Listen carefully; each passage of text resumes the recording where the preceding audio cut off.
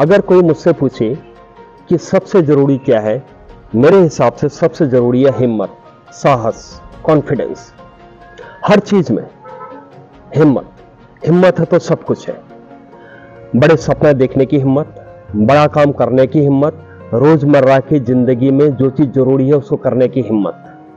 अपने आप के बारे में पॉजिटिव सोचने की हिम्मत, अपने को इंटेलिजेंट समझने की हिम्मत, अपने को स्ट्रांग फील करने की हिम्मत हर हर चीज़ में हिम्मत एक ज़रूरी एस्पेक्ट है। इवन अपनी बात कहने की हिम्मत, प्रश्न पूछने की हिम्मत, उत्तर देने की हिम्मत, कठिन से कठिन चुनौतियों को स्वीकार करने की हिम्मत, हारी हुई बाजी को जीतने की हिम्मत, मेरे हिसाब से हिम्मत है तो सब कुछ है। ठीक इसके विपरीत, डर। डर एक तरह का मृत्यु है। डर एक तरीके से हमें पीछे को धकेलता है। डर हमें कमज़ोर करता है। डर हमें हराता है। डर हमारे मनोबल को गिराता है।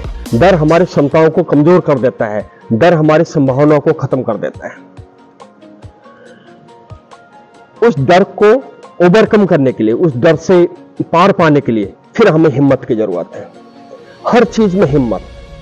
हिम्मत की इतनी ज़्यादा प्रैक्टिस करने की ज़रूरत पड़ती है कि जैसे हमें हमें सांस लेने की ज़रूरत पड़ती है, वैसी हमें हिम्मत को, अपने अंदर हिम्मत को पैदा करने की ज़रूरत पड़ती है। हिम्मत एक तरीके से हमारा चरित्र का हिस्सा बन जाता है। हिम्मत हमारा पर्सनैलिटी का हिस्सा बन जाता है। हिम्मत की इतनी ज़्यादा प्रैक्टिस करनी पड़ती है कि हिम्मत हमें, हमारे सांसों में हिम्मत, हमारे खून के एक एक बूंद में हिम्मत, हमारी सोच में हिम्मत, हमारे व्यवहार में हिम्मत, हमारे काम में हिम्मत। वो हिम्मत हर जगह पे रिफ्लेक्ट हो। चाहे हम सोच रहे हैं पॉजिटिव सोच पाने की हिम्मत बेहतर कर पाने की हिम्मत, वो हमारे काम में हिम्मत, हमारे सोच में हिम्मत, हमारे व्यवहार में हिम्मत, वो हिम्मत सब जगह पर रिफ्लेक्ट हो। हमारी कोशिशों में हिम्मत हो। गड़बड़ियाँ भली हो रही हो, खामियाँ हो रही हो रिजल्ट्स ना आ रहे हो, उसके बावजूद भी लगे रहना कॉन्फिडेंटली और हिम्मत अपनी बनाए रखना, ये सबसे ज़्यादा ज़रूरी लगता है। और इसकी ट्रेनिंग लेना बहुत ज़रूरी है। हिम्मत के लिए अपने आप को पॉजिटिव करना, हिम्मत के लिए सही इन्वायरमेंट क्रिएट करना आप घर में हैं तब भी हमें एक हिम्मत वाला इन्वायरमेंट हिम्मत साहस जोश पराक्रम जुनून वाला जुनून वाला माहौल।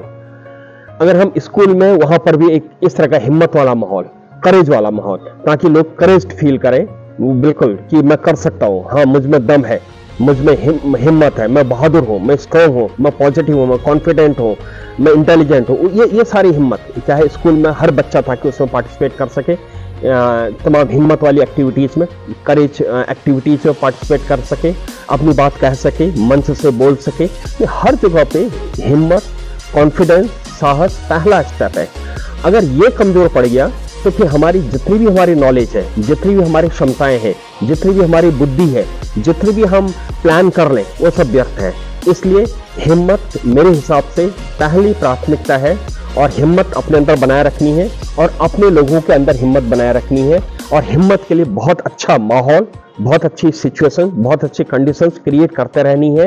हिम्मत की, जैसे हम जिम में प्रैक्टिस करते हैं बॉडी की, वैसे हमें मेंटल मेंटल एक एक्सरसाइज करते रहनी चाहिए और हिम्मत को बिल्कुल बिल्कुल बिल्कुल मजबूती के साथ, हिम्मत के साथ में आगे बढ़ते रहना चाहिए।